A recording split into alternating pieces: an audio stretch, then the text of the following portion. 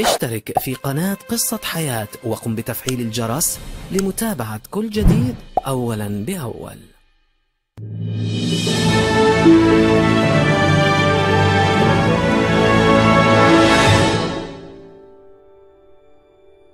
سيد المسرح الجوكر أسطورة الكوميديا كثيرة هي الألقاب التي أطلقت على الفنان الموهوب عبد الناصر درويش.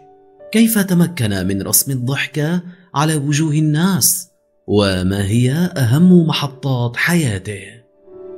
أنتم تشاهدون قناة قصة حياة على يوتيوب. وهذه هي قصة حياة وأسرار الفنان عبد الناصر درويش.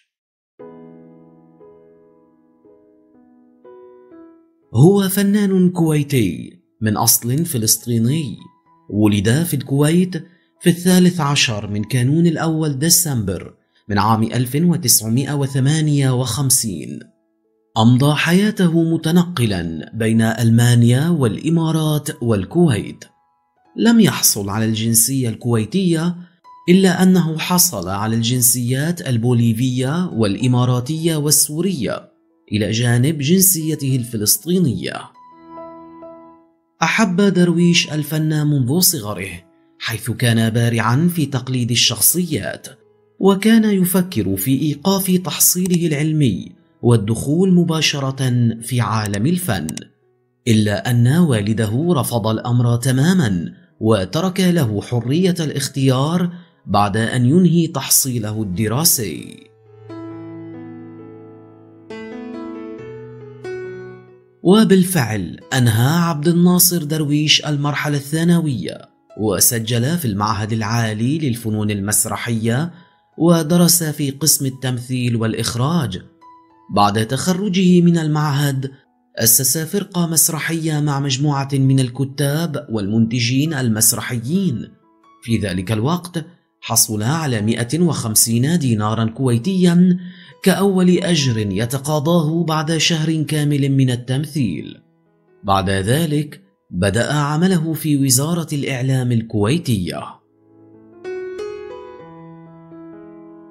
في أواخر السبعينيات شارك درويش في بطولة مسلسل مذكرات جحا حيث كان هذا هو العمل الأول له على شاشات التلفزة ولكن الانطلاق الحقيقي له وأول خطواته على طريق الشهرة كانت في مسرحية الكرة مدورة عام 1988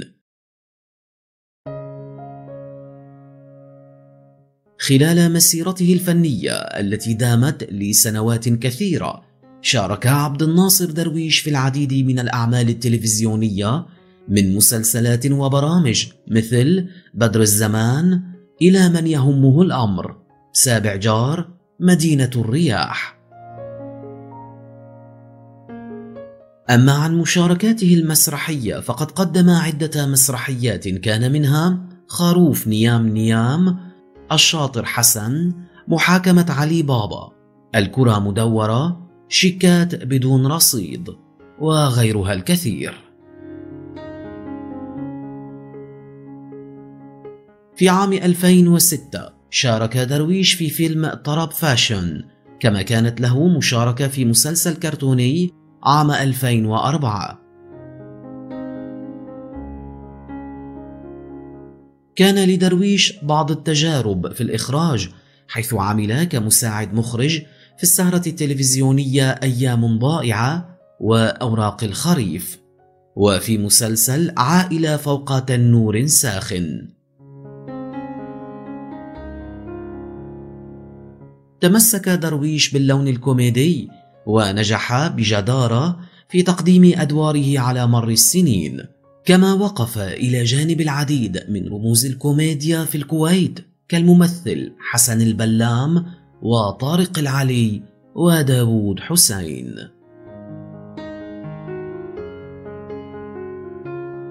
بالإضافة إلى موهبته في التمثيل والإخراج عمل عبد الناصر درويش كمذيع في إذاعة الإمارات FM حيث قدم برنامج بودروش Time لأربعة مواسم.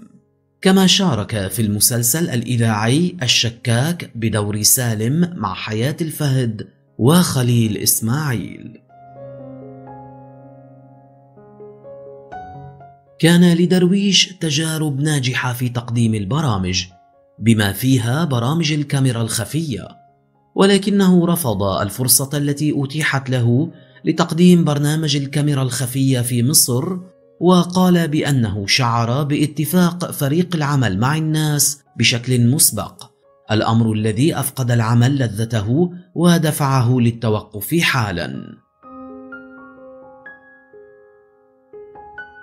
أطلق نجم الكوميديا آخر أعماله في شهر رمضان الماضي حيث لعب دور البطولة في مسلسل درويشيات إلى جانب العديد من النجوم مثل مبارك المانع، أحمد العونان وسلطان الفرج. صرح عبد الناصر درويش عن حقيقة أسنانه قائلا بأنها ليست أسنانه الحقيقية، فقد اضطر لخلعها كي يتجنب الإصابة بسرطان اللثة. واعترف بأنه قام بحفلة وداع لأسنانه في ذلك الوقت مؤكدا أنه متصالح مع الأمر لأبعد الحدود. إن المرة الوحيدة التي بكى فيها درويش بحرقة كانت لحظة سماعه خبر وفاة والدته حيث إنه لم يودعها قبل رحيلها بل تلقى خبر وفاتها باتصال هاتفي مفاجئ. بالرغم من تقدمه في السن إلا أن درويش لم يتزوج ابدا حتى هذه اللحظة. صحيح أنه تعرض للكثير من الشائعات التي تقول بأنه لا يرغب في الزواج ابدا لكنه أوضح الأمر مبررا بأنه لم يلتقي بالإنسانة المناسبة حتى اليوم وأن مسألة الزواج متعلقة بشكل أساسي بالحظ والنصيب.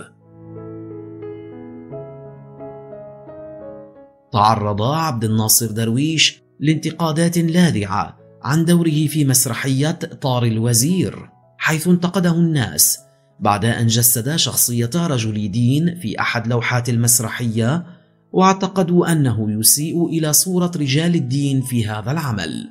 لكن الشركة المنتجة للمسرحية أوضحت الأمر للنقاد وشرحت بأن المقصود هم أولئك الذين يدعون التدين كي يغطوا على طمعهم ومصالحهم الشخصية. بعد مسيرة فنية استمرت لحوالي ثلاثين عاما استطاع درويش أن يقدم ما يزيد عن تسعين عملا تلفزيونيا ومسرحيا وتمكن بموهبته من أن يترك بصمته الخاصة في أي دور قام بتأديته. إن درويش هو حالة كوميدية خاصة في مسرح وتلفزيون الكويت. نجح في كسب محبة الناس وزرع الضحك في وجوههم. كما برع في تجسيد الشخصيات النسائية بأسلوب ساخر وكوميدي. بلا شك سيبقى هذا الفنان المبدع اسما لامعا في تاريخ المسرح العربي.